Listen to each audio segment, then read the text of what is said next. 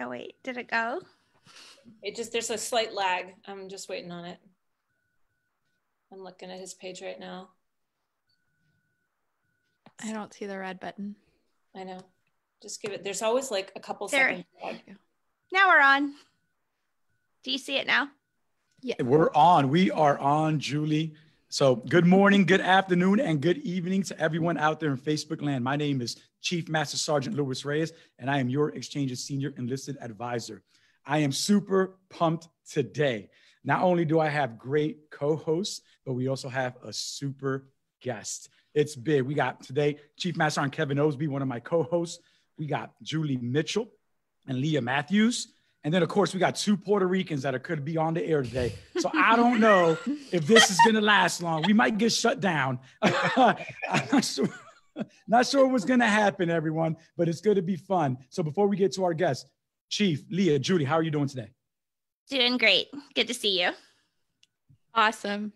Hello, All right. everybody. Yes, and I'm doing wonderful. This is a this is an outstanding opportunity uh, that y'all put me in front of. So thank you. And we also have Christiane. You want to say hi? Hi, how you doing? Surprise, we got you on the air. I see that. She's the PA for, she's the PA for the SEAC in case anybody's wondering. You know, let's get right to it. Julie, you mind introducing our guest? We are truly honored to host today's guest. He is the most senior enlisted service member in the United States Armed Forces and the principal military advisor to the chairman of the Joint Chiefs of Staff on all matters involving joint and combined total force integration, utilization, health of the force, and joint development for enlisted personnel. It is our privilege to welcome the senior enlisted advisor to the chairman of the Joint Chiefs of Staff, Ramon CZ Colon Lopez. Hey, Woo! Woo! SEAC, SEAC, SEAC, SEAC. SEAC. get phone. We gotta go uh, there. SEAC, thanks so much for taking time out of your busy schedule to join us. We're super excited to have you. And for everybody watching, drop a note in the comments. Let us know where you're watching from. Share your questions for SEAC Colon Lopez there. We'll read them out loud throughout the broadcast. And if you don't follow us, you should. Chief Chats are every Tuesday and Thursday, sometimes two a day, like today. And if you don't follow SEAC Colon Lopez, you should too. So you'll stay informed on what he's doing in his unique position to advocate for and develop enlisted service members across the joint force. Wow, what an intro. Thank you so much, Leah.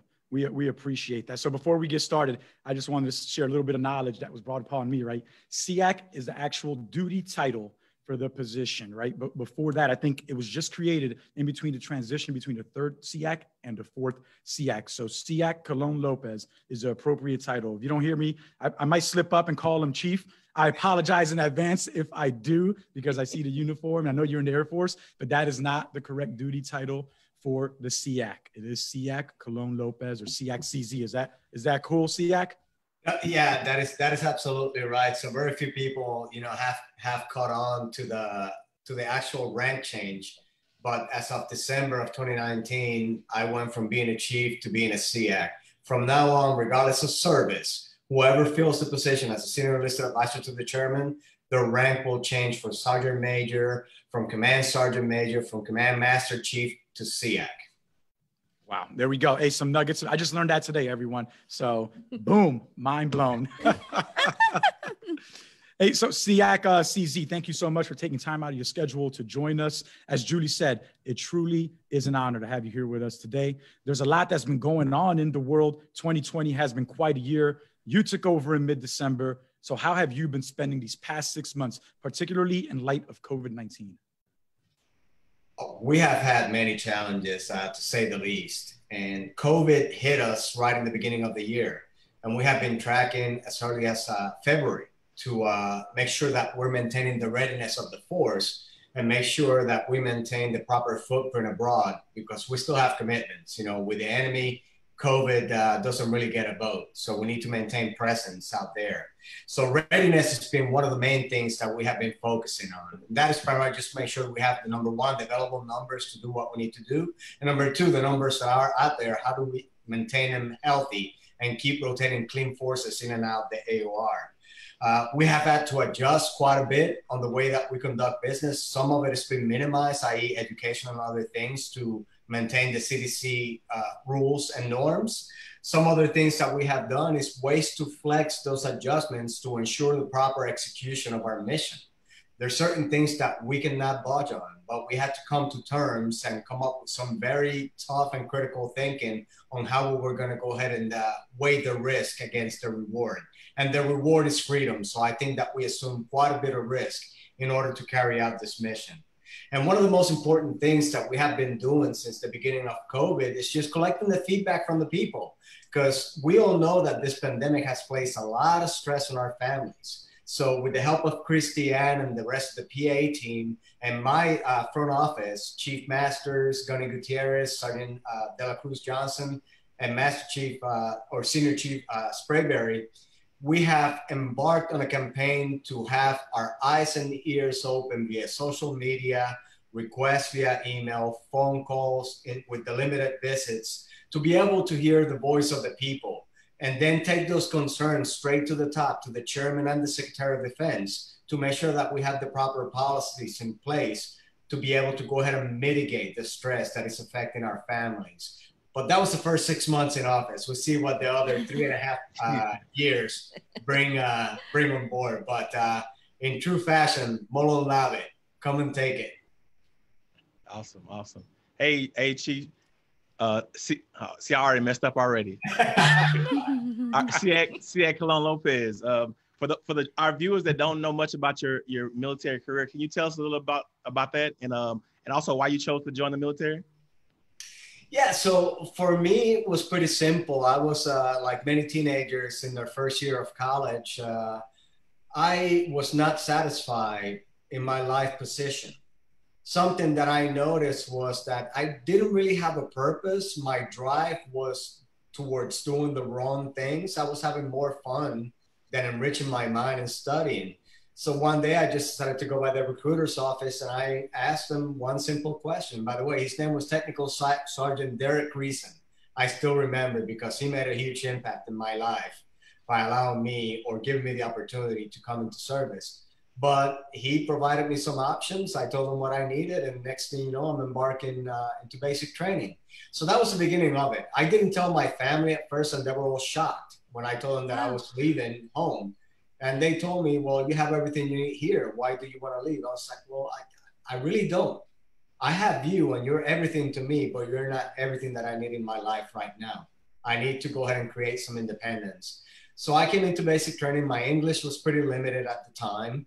And half of the stuff that was yelled at me in basic training, I understood. The other half, I didn't. And I just found out it, which just got me into trouble. But, you know, there was a, an awakening moment while I was in BMT. And that was what one of my squad leaders, basically the person that was in charge of a row of beds, got fired. And the TI came up to me and said, Hey, uh, Colon Lopez, you got this. You're going to be the new squad leader. I was just like, wow, well, that's pretty neat. And then I remember writing a letter to my sister, Frances, where I told her that, hey, I was just put in a leadership position. And I think that this is something good. I mean, I, I enjoy doing this. I like getting people to do right. And I think I found a place to exist. So fast forward a little bit past that, I was a traffic management specialist when I first came into service. And it wasn't long after I got assigned to my first duty station, Heraklion Air Station, where I started going back, reverting to my old ways of my partying ways in college. And, you know, I had an incident that happened to where I got demoted, I lost a stripe, and I almost got kicked out of the service until an NCO intervened in my career and showed me a path that I wasn't following. And uh, I ended up following him, following her advice. And next thing you know, I'm back in the United States after that tour. I uh, I get to Randolph Air Force Base, and by chance, I run into this PJ that asked me if I ever thought about doing it. You know, there was a you know uh, a reputation out there that I had a lot, a little bit too much energy. So this guy sought me out, and uh, he asked me, "Well, I didn't know anything about pararescue." Um, so I told him, yeah, right, that sounds cool. Skydiving, shooting guns, uh, mm-hmm. you know, scuba diving, great. What he didn't tell me was about the pain that I had to endure for two years in order to wear the maroon beret. And uh, I went in there totally blind, 142 pounds wet, Uh, I wasn't anywhere near an operator in physique. I was more like an Olsen twin. And uh, I got uh, I got in there, you know, and I was pretty intimidated seeing, you know, the demographic. I mean, you had, you know, Johnny football heroes from high school and uh, guys in pretty great shape. But uh, what uh, what I what I saw was that people had alternate reasons for being there. Some of them just wanted to say that they tried. Some of them were not really sure whether they wanted it. For me, man, there was no options. I was still trying to find the purpose in my life. And once I graduated and, and completed the pipeline, my life was defined. I knew what my purpose in this lifetime was, and I embraced it ever since. So I haven't worked a day since there. Then shortly after that, I met my bride, Janet.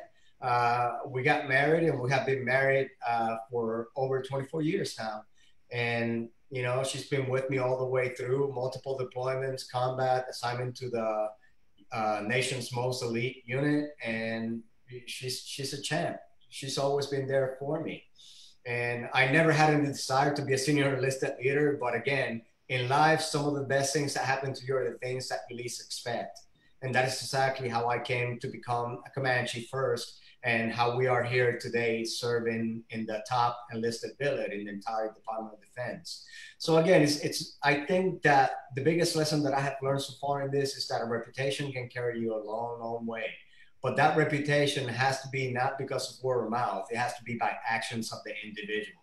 And uh, I'm, I'm proud to serve and uh, I'm almost uh, sad that it's going to come to an end here in three and a half years. But until that day comes, I'll keep giving it my 100% on it. Uh, hey, like you, you, said it, you said it best, right? You could talk the talk, but can you walk the walk? Right at the end of the day, that's what matters. But here's a here's a follow up question. Can you tell me a little bit about the Pararescueman Creed and how that shaped your service? Yeah, so the the creed is something that you have to learn day one, and uh, the more you screw it up, the more push-ups or floater kicks you end up doing. So, but but they teach you that for a reason because it's not just something that you memorize; it actually becomes a way of life. And for those of you who do not know what the creed is, is it is my duty as a pararescueman to save lives and aid the injured. I will be prepared at all times to perform my assigned duties quickly and efficiently placing these duties before personal designs and comforts. These things we do that others may live. Oh yeah.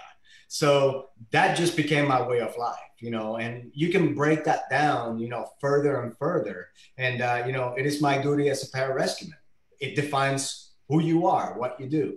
Then it defines your purpose to save, you know, my purpose is to save life and aid the injured. Number three is the expectation. I will be prepared at all times to perform my assigned duties. How? Quickly and efficiently. And for whom? Selflessness, placing these duties before personal desires and comforts. And then your purpose in life at the end. These things we do that others may live. And that is still near and dear to me. And I apply, I apply that to everything that I do in life.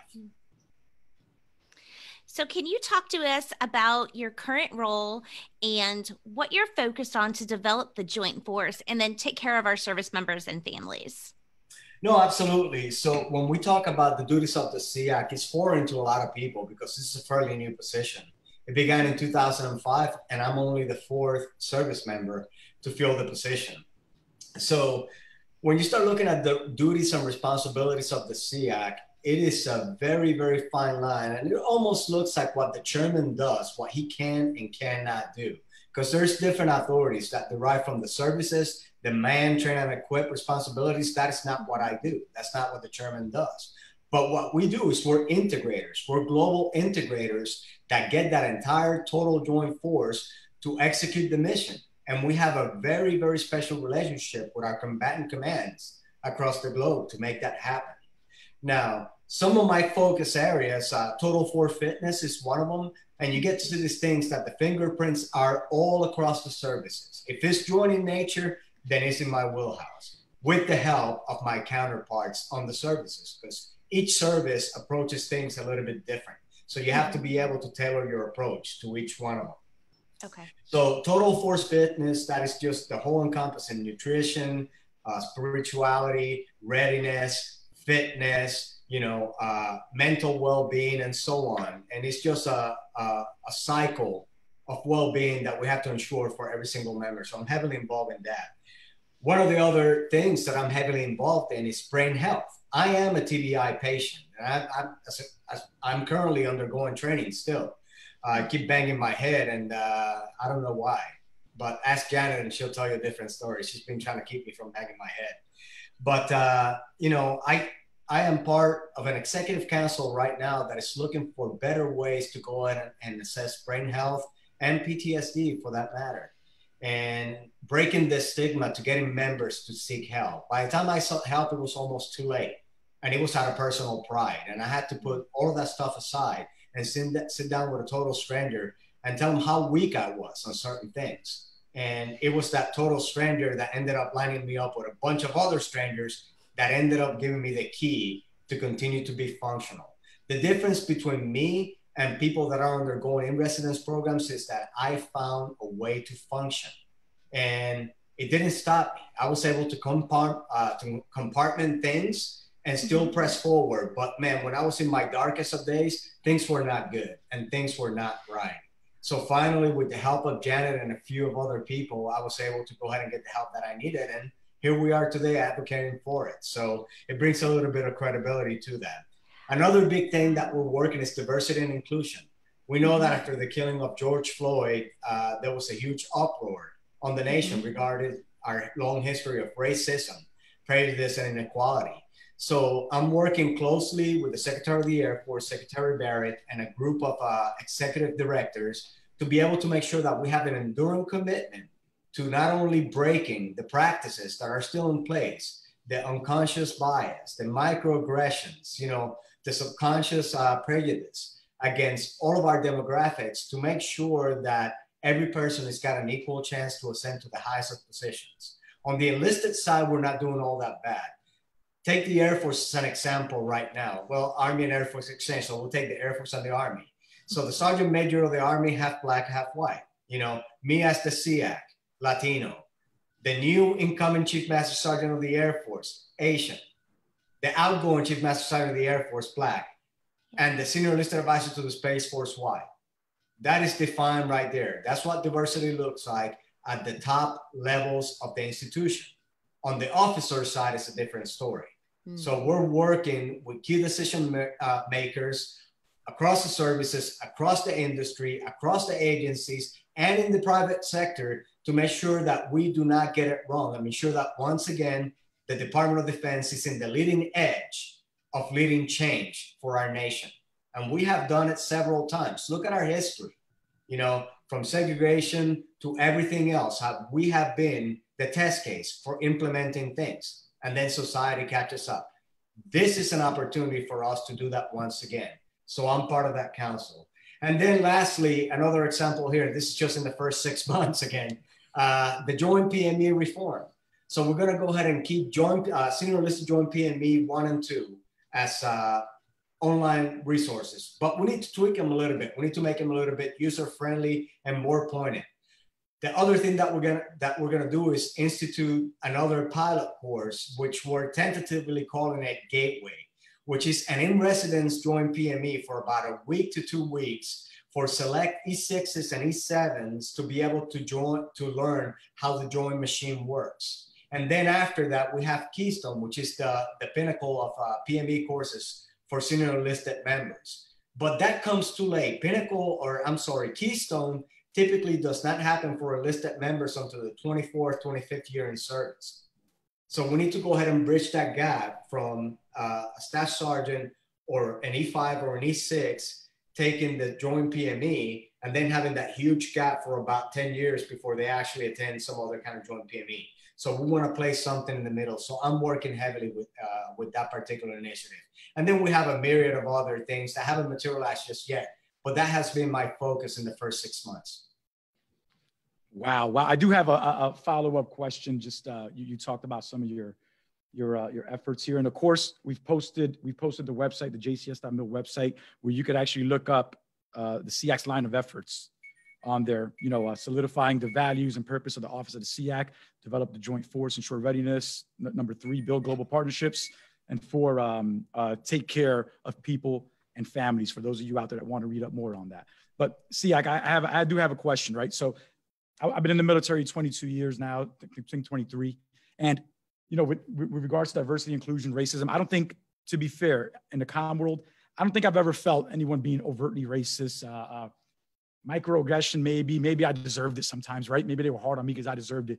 In your in your career, did you ever feel there was a time when someone may have been racist towards you or or showed some type of unconscious bias or microaggressions or anything of that nature? No, absolutely, yeah. And I will be a, a liar and dishonest if I didn't say that happened. Uh, there were several times, you know, when I was a young airman at one striper before I lost that stripe.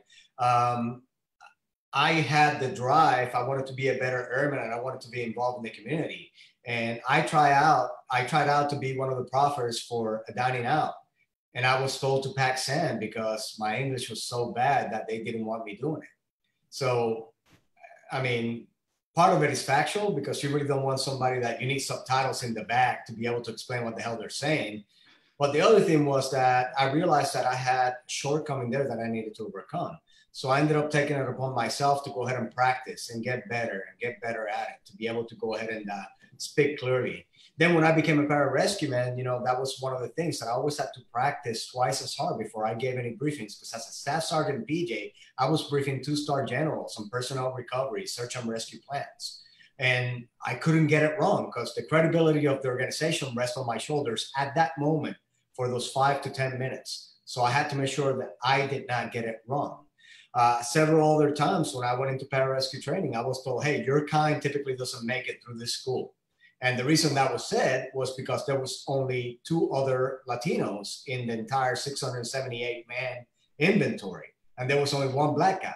And there was another black guy in my class by the name of David Goggins, that many of you may know from his book, Can't Hurt Me that he left the, the training because there was uh, some other uh, issues that he was facing that uh, basically broke his motivation. But he's pretty articulate on it in, in the book and the regret that he had for living at that time and place. But then he ended up slaying his demons by going out to BUD/S. But even then, you know, us being the minorities in there, I mean, you can pick us out from a lineup and even the team cartoons from from that time because you had to do a cartoon every morning so you had a whole bunch of white cones and then you had a, a brown one and then you had a black one at some point and so those are like microaggressions that actually you know it's a depiction of the reality but the the the method of delivery wasn't really quite clean if you know what i'm saying. But there have been other situations to where you know i was called certain names and everything else and i was even made fun of my accent. You know, I was having a conversation with some young officers uh, last night via Zoom, and they asked me, "Well, how do you deal with people making fun of your accents?" And I asked them one, one simple question. I was just, "All right, look at look that person in the eye and ask them, how many languages do you speak?" and wait for the answer, and then rest your case. All right, we're different. You know, we have different. We come from different places. But biologically, there's only one race, and that is the human race. And that's something that we need to keep in the back of our minds. We come from different places, and a lot of these things are created by humankind. You know, we decided to segregate ourselves by Asians, Africans, Europeans, and everything else. But biologically, the human race is the only race. So we just need to embrace that and we need to go ahead and cohabitate and we need to make sure that by the time people come into our service that they realize that there is no place for that the chairman of the Joint Chief just put it there is no place for racism and prejudice in the Department of Defense. And we do not tolerate. So, but those are just a few examples on how we're dealing with this. But I am the, the sole enlisted member in that executive panel, and I report directly to Secretary Barrett. And we had a great conversation just yesterday afternoon about the way ahead. And I'm really optimistic that this is not going to be another down day. This is not going to be another program that is forced down your throat these are going to be actions that are going to make a difference, not only to make sure people understand what we do not tolerate, but also to show people that we're going to hold those accountable that violate our human rights in military service. So that's the direction we're going.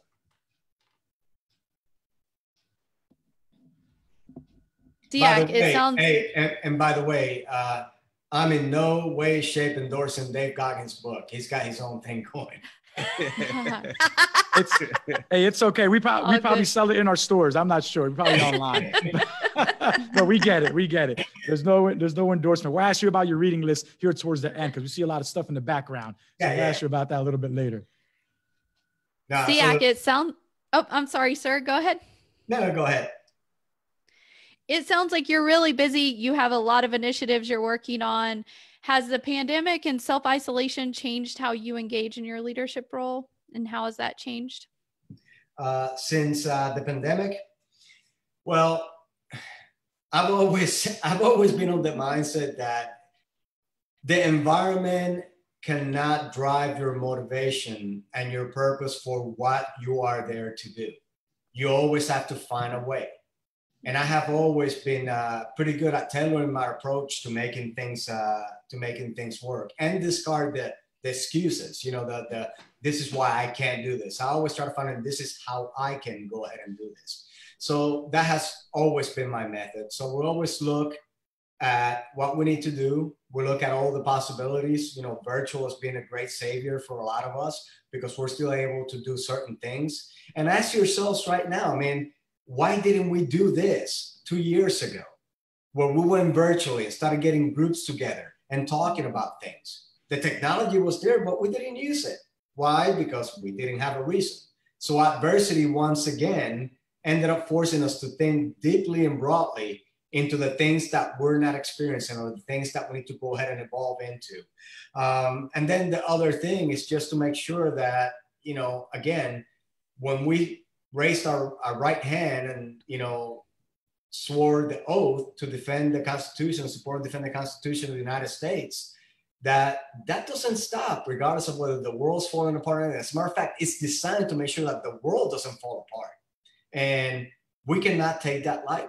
So for anyone out there that is struggling, trying to find a way, uh, there's certain things that you can do to go ahead and make yourself yourself purposeful, even in the midst of pandemic, social distancing, teleworking, and other things. There's ways to go ahead and get information across. Because 90% of the things that we do is making sure that the right information gets to the right person and decision maker, and then follow it up with action we can still do that to a great extent. So I encourage people to just go ahead and follow suit on that. Wow. Thank you. Thank you. Thank you, SEAC. So leading to the next question before before I get to it, Colonel Fortier was the one that sent an email to your team. You remember Colonel Fortier? Yes. a character. He's a character. I love him though. I love him. He's retired now. He just retired and he does work downstairs at the exchange. So he told me a story and he says, You probably don't know about this, but they were, uh, you know, he worked at AFRICOM over there in Germany, and all the Army people were about to run PT. They had a PT session. They were going to run PT. You come out there in in, in an IBA with your camos on. He can't remember you had sneakers or boots on, and they're doing like a, um, a, um, a three to four mile run. And he says you come out there and you just you know, just running running around circles around them, doing cadence, and everybody's pumped up. They're like, oh man. And at the end, he says, you don't think you know this. He says, at the end, all of the officers and you know, the, the senior enlisted, they were like, man, that's that's our senior enlisted advisor right there. That's him. That's that's our guy. And then uh, some of them were like, hey, we can't let them beat us no more. This is this is not. we, we, you know, we got to show out. We got to step up our PT game. So with that, you know, we know you have to stay fit to fight. Why does that mean so much right now? And what's your fitness regimen, especially during the pandemic? And how are you staying in shape? Well, it's it's always been a habit. So I've always been a pretty active kid. You know, I grew up pretty poor in Puerto Rico. I did have a bicycle. My bicycle was my method to get to plenty of places. And we'll get back to the bicycle here because that, that became a critical uh, a critical mechanism in my life to stay in shape and to go ahead and escape. But I always liked running. I always liked playing sports. And, you know, when I became a pararescue man, I was afforded two hours every morning to go ahead and do my PT because it's part of the regimen for the expectations of a PJ to execute their mission. So that those things actually developed over time in my lifetime to go ahead and create the right habits. And now, if I don't PT in the morning, I'm a cranky SOB. And uh, I'll tell you that Jeanette Masters, the chief that works with me, she will look at me in our morning mirror and she'll be like, You didn't PT this morning, did you? And uh, so they know. I mean, I, I, I wear on my sleeve. But uh, I've always been very aggressive when it comes to my approach. Uh, the things that I love to do, first of all, I love boxing, I love mountaineering and rock climbing, and I love mountain biking. Janet and I love to hike. We have hiked all all around the world, and you know I like lifting and doing other forms of cardio. And in my basement right now, I have the small place, this dungeon that I call the House of Pain. So I have a 120 pound heavy bag down there. I have a Bowflex, some dumbbells, and some CrossFit equipment. And I go in there and kick my own butt for an hour and a half every morning, you know, before I go and report to the Pentagon at seven o'clock in the morning. So I get up right around 355, 04 in the morning, wake up for a little bit, shake it off, take my supplements, and then get down there and uh, bring, bring on the pain. Um, it's always been important because since basic training, that aspiration that I have for leadership, I knew that there was that first impression that, that always comes before that. And that is the door to your credibility. The way that people see you actually says a lot about you, about your self respect, and about your loyalty to the rules of the service. Because the service is pretty strict when it comes to what is expected of every single one of us. So now, when it comes to the scenario with the Army, there are a lot of young people out there that are looking for excuses not to get out on PT and do other things. So the reason I go with utilities and boots, yeah, they were boots, not uh, not running shoes, and some kind of weight vest or a flat vest, is because I want to take those excuses out of their mind, you know. And I want them to look at me with the knowledge frost that I have now for hair. Um, hey, the old man is out there and, and getting after it. How dare I do not? And I don't have to tell him, hey, you need to get in shape. I'm demonstrating why it's important to stay in shape because motivation is one of the biggest foundations of leadership. You have to make sure that you're motivating people when you speak, when they see you, when you present yourself as a professional, and most importantly, when you care for them. That is how you create that cycle of excellence that is expected of every single one of us, especially when we become NCOs. So that is why I got out there and uh, and did the PTO always in the boots and nudes. And it was also uh, a silent homage to all my fallen comrades in combat from all across the services. So whenever there's a five or 10 carrying, even in IUD in the middle of the summer in the heat, always went with that. Just because that is just my way to go ahead and sweat a, a few pounds of, uh, of water for the blood that they shed for our nation. And uh, I never, I never take that line. And the last thing that I will say on that is uh, look at the stats and look at the numbers. In the Department of Defense, we have only lost three uniform members to COVID. Many have gotten sick, but they're surviving. And why is that? Because of the healthy population that we have. The few that have perished had underlying medical conditions that they could do nothing about. But for those who are getting on the unhealthy side, go ahead and get on the right side of the equation and start doing things, eating well, exercising to make sure that you create the immune system that is required for anything else that life is going to throw at us because COVID 19, there's probably a reason why there's a number next to it. There's probably 20, 21, 22, and so on. So be ready for it, just like we are right now. And just, you know, promote that healthy lifestyle just to make sure that we're ready, available, and then lethal. Those are the three things that we need to do. That's awesome. I could, I could tell you, I could tell you what, uh, SEAC, you did win the hearts and minds of those soldiers that day because Colonel Fortier told me himself. So, eating well goes hand in hand with fitness. What does nutrition look like for you? And why are initiatives like Air Force Smarter Fueling and Army Healthy Communities so important? Well, so I have to admit first, first of all, that every once in a while I'm a garbage disposal, but that is just because I have I have the the metabolism of a of a 19 year old, and I, I guess I'm blessed with it. But uh, I will tell you that my wife doesn't like to cook processed foods, from sauces to everything. I mean, she tries to do everything natural. We eat pretty well in our home. And I'll 90% of the time I pack my lunch, you know, whatever leftovers I had, I bring that in there. Uh, I don't need anything prior to seven o'clock. Like last night, I didn't get that Zoom call done until probably like uh, 2000. So I didn't eat until late, but that's because I was starving. I wasn't about to go to bed hungry. But typically on a good day, I don't need anything past seven o'clock at night. Um, it's very important that the services and the department, much like you're doing right now with the initiatives, provide healthier options for people. Because for the reason that I just stated about being up late in that Zoom call, we have a lot of people, young people right now that are working shift work.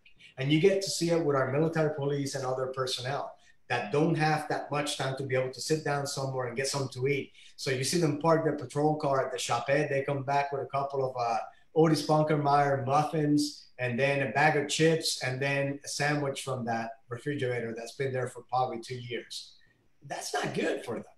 So the more options that we have for them to be able to go ahead and eat healthy, the better. And we got that question, you know, via Facebook about the subway shutting down. And I know that you guys are looking into it, but people are paying more attention to the options that are on base. And I don't know if you recall back uh, a few years back when General McChrystal shut down all the Burger Kings and everything else in Afghanistan because he didn't feel that that was good for the readiness of the force. So we're cognizant and we're very vocal about it. And if somebody's out of shape and out of weight, the first conversation that I have with them is about what is that they're eating. Because it doesn't matter how many push-ups, sit-ups, and everything you that. If you have the input that is coming into your body, it's not conducive to go ahead and create the fuel necessary and burn that fat out of you, then you can potentially be just basically swimming against the tide and eventually going backwards. So it, it is very important for everyone to go ahead and be cognizant of the calories that they take, the composition of those foods, and then what is it that they're trying to do to either you know get fit or lose weight.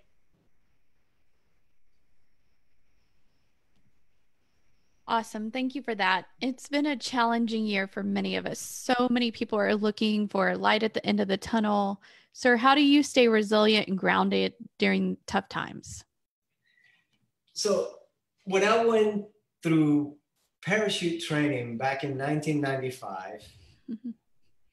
there was a mechanism that was taught to us to be able to break the fall of a static line jump. Now, for those not, not familiar with static line jumping, the parachute opens, you have very little control of it. And the only thing that you can do is turn a certain way and break the fall when you land. Break the fall, or you're potentially breaking a leg or your neck for that matter. And that is called a P- PLF, a parachute landing fall. And it's designed to go ahead and minimize the blow that you know is coming. So in my own mind, I created my own little acronym with PLF. I'll do a PLF on that, you know, and that is uh, mm-hmm. purpose, laughter, and family. So when things keep going tough, and when I feel that I'm at the end of, uh, of my rope on things, I always think of those things. Do I have a purpose? Yes. Can I laugh at things? Yes. Is my family still appreciated and love me? Yes and all of a sudden, man, all worries go away. Um, and again, it's just associating the things that I have learned throughout my career and the things that are most important to me right now and how they can go ahead and give me strength when I'm feeling weak. So that's uh, that's what I did. That's good. Good. So, well, thank you so much. I got. I just had to write that down. PLF, right? Purpose, laughter, and family, and kind of the mm-hmm. questions that that yeah. you you asked there. So check this out. I'm at a I'm at an AFSA conference. I don't know, like 2013, 2014 or 15. I don't remember. And there's this picture of you. I don't know if you were in an AFSA magazine or an AFSA pamphlet. It, it was something crazy like that. Somebody was like, oh, oh, that's uh at that time, I think you were a chief. It was like, oh, that's Chief CZ. He's cool, he's cool. And then they, they brought up this thing called carnivore leadership. But back then, you know, I was younger. I was like, I, I don't know. I was like a master sergeant, tech sergeant. I was like, I don't know what, what okay, uh, what is that? You know, and I never got a chance to actually hear it. So I know I know that you're known for your leadership style and your refusal to accept mediocrity. So for those of us that don't know, what is carnivore leadership? Well, to simplify, carnivore leadership is nothing more than a mindset and a primer for action. And what I mean by that is throughout my career, I have always had, you know, books that I always keep writing thoughts on, you know, lessons learned, good and bad you know things that my leaders the people that i respect have said that resonated with me. And i keep a collection of all of those thoughts. And when i wrote the first volume the 20 silver bullets that's really what it was all about. You know i was a brand new command chief at Hurlburt Field and i got to see all kinds of different tribes you know from the maintainers to the cops services logistics and everybody had their own little culture. But there was one subculture within AFSOC, and that was like hey everybody here is uh is an air commando that I needed to capitalize on and I needed to reel them in so that they can start, you know, they, they could start working as teammates. So that's why I wrote the silver bullets. It's like, hey, this is what is expected of us. And this is what I have learned while I've been on the road. And I want to go ahead and pass that on to you. And then I want us to practice these things, put them into action to become a carnivore leader.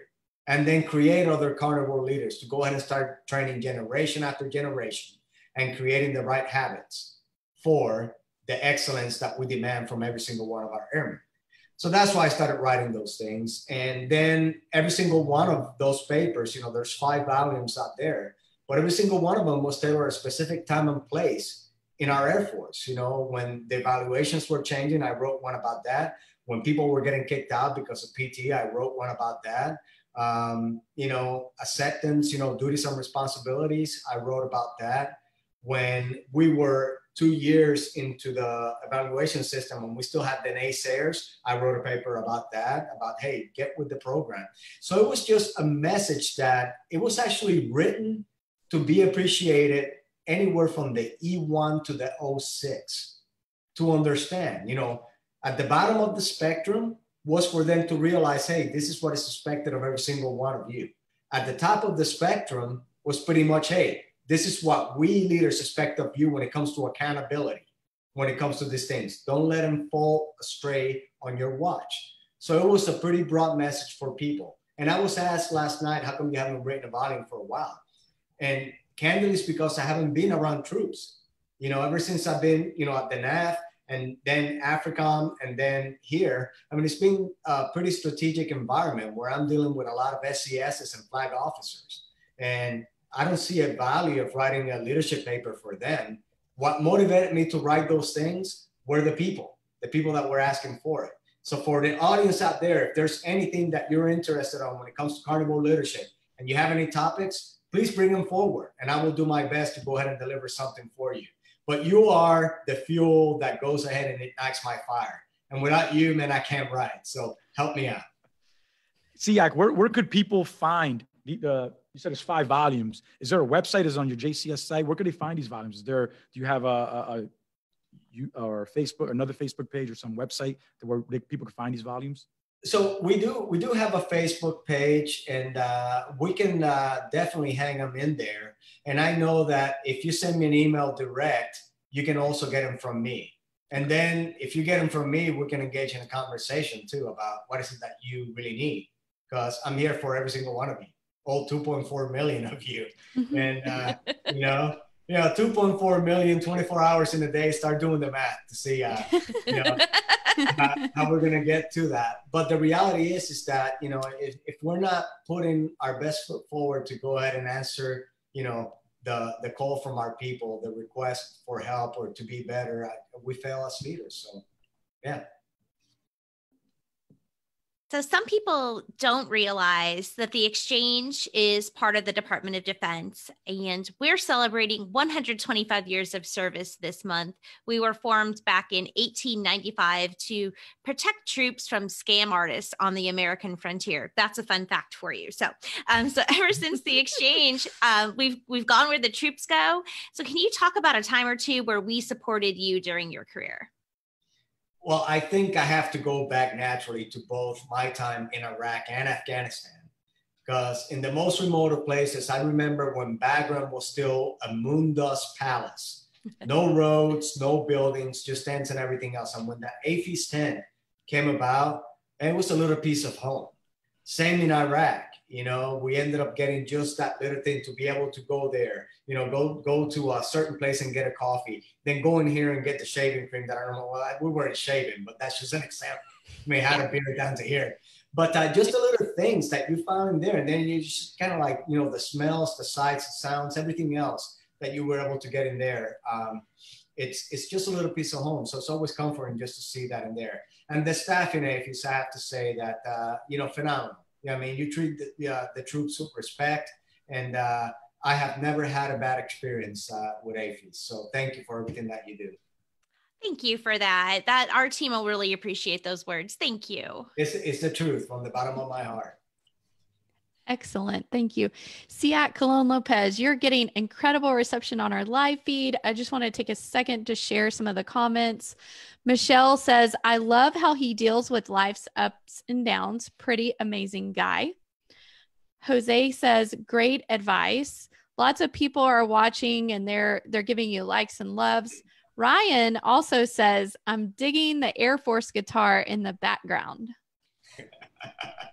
Let's Uh, let's well, hey, let's let me show let me show it to you. Hold on one second. let's let's Well, let's and by play. the way, so I learned this term here pretty soon. A lot of people, when I was doing the Zoom things, they were wondering if I was Winnie the Pooh in it, you know. And no, I'm not. I am fully in uniform. You do you do have a request, SEAC. Somebody asked if you could play the Star Spangled Banner. It is his favorite Motley Crue song. Is that true? Is that true? Oh, gosh. I think I think it's confusing dear. Preston Scott Key with uh, Motley Crue. Let's. Are we gonna hear it? Are we gonna hear it? No, no play. He's like, no. He's like, no play. We're not playing that today. That's a sweet guitar, Oh. though. wow. No, yeah, no. So you know, it's, it's a gift from uh, from a couple of dear friends. But uh, yeah, so I learned to play guitar back in 2005 after I returned uh, returned from my third deployment, and uh, I had a, a little bit of a struggle. And a buddy of mine, you know, recommended I did it. Janet actually always wanted to learn to play guitar. She was the first one that mentioned it, my wife. But I decided to just go ahead and buy a guitar and uh, teach myself how to play. So now, whenever we're traveling USO Wow. tours and everything else, I get up with the band and play whatever they're playing. So it's fun. It's a lot Oh, of fun. wow. Yeah. That's awesome. Wow. And, and I have to point out that Christiane is a hell of a singer. So, Oh, you know, she's, What? she's quietly in there, but uh, yeah, she she she can sing. Are you two a duet? Like you play the guitar and she sits there and sings? We haven't yet. We haven't yet. We should we should sometime. Oh, I see another Facebook engagement coming. All right, Christiane. Hey, tune in next week for the SEAC, Colon Lopez, and Christiane as they play. Ah, oh. Awesome, awesome. Hey, ACX. So I'm a I'm a First South alumni, and so I'm very familiar with Hurlburt Field uh, in AFSOC, and I love I love being stationed there, and that mission is freaking amazing, and the beaches ain't too bad either uh, over there. And uh, I'm also a fan of carnivore leadership because I love steak, chicken, and all the rest of that other stuff, and I also love to lead as well. So, uh, but before we say goodbye, is there anything else you'd like to share with our service members and the families watching today? No, well, you know, for everybody that has come uh, come up and listened to this uh, to this podcast, I, I would just like to say thank you, and we really appreciate your time. I know that it's kind of like in the middle of the day, and you know, a lot of you have things that you need to do. But I'm uh, I'm aware that this is going to be recorded and posted. I know that Christiane is probably tracking, and uh, we'll be able to go ahead and present it later. But uh, I would like to leave you with uh, two thoughts, and that is that only the mediocre are always at their best. So never pass up a good opportunity to go ahead and train to continue to improve yourself every day. Even in this position, as the top enlisted airman or the top enlisted service member that happens to be an airman, uh, man, I'm always learning. I learn from you, I learn from other people, my teammates, and so on. So never quit learning. And then the last thing, when it comes to this whole diversity and inclusion conversation, for anyone out there listening, you deserve what you tolerate. Don't tolerate people making the off color jokes. Don't tolerate people uh, demeaning others just because they look different or they speak different or because they dress different. You know, embrace diversity for what it is. And that is the strength of our nation. That is why America is so strong because we have taken lessons learned from many places and we created this thing that is red, white, and blue. Those are the three colors that matter that makes us who we are and that has created the worst, I mean, the best superpower and the worst nightmare for our enemies. So please just embrace who you are, respect the flag, and continue to serve honorably. And uh, from the chairman, the secretary, and myself, uh, we care for you.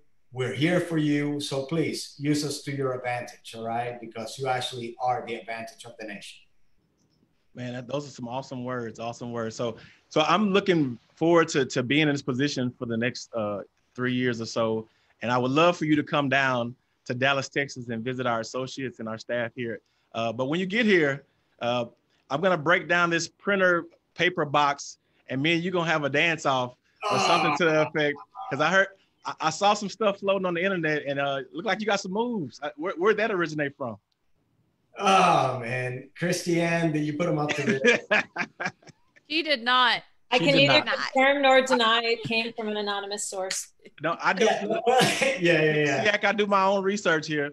No, so uh, before we get into that, so uh, Chief uh, Kevin Osby, uh, congratulations, you know, and welcome to the AAFES team and to my uh, my women, Chief Luis Reyes. Man, thank you so much for your hard work and dedication. And uh, AAFES is a better place because of your leadership and the leadership of your peers out there. So you're going to be missed, but you're going to be doing great things in Florida, man. Be careful. That's a hot spot for COVID. But then again, so is Texas, man. So I'm That's true. PCS anytime soon. Now to the breakdancing. So I mentioned that I was pretty poor when I was growing up, man. A cardboard didn't cost, cost nothing, and somebody always managed to have music.